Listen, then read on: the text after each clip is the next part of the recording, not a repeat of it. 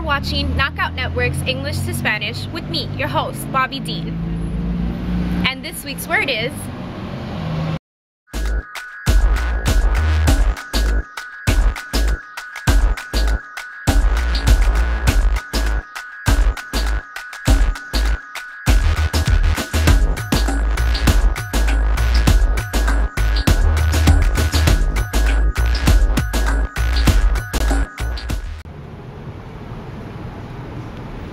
And this week's word is woman, translated in Spanish, mujer.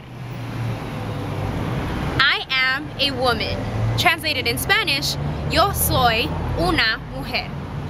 Once again, that's mujer. Thanks for watching Knockout Network's English to Spanish with me, your host, Bobbi Dean. Make sure to tune in the following week for our new word of the week. Subscribe to our channel, leave us some comments and feedback.